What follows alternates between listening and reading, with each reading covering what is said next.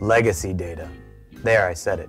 How are you supposed to take advantage of all that great technology Autodesk offers when you have 25 years of DWG data archived?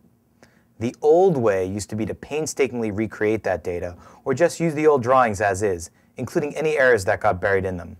But we have a better way. One of the high value features in Mechanical is the associative BOM and parts list. Wouldn't it be great if you could bring your old DWGs into Mechanical and have that added to your drawing as you imported? You can, and not only that, this can be DWG data from any application, not just Autodesk. Here we are setting up a template that allows you to specify how you want to build the BOM, entering things like part number, part name, mass, whatever you want. Once the template is set up, every drawing is checked for those inputs. And here's where it gets great. AutoCAD Mechanical will check to see if there are any errors or conflicts in those drawings, and output a text file that shows which drawings have the potential issues.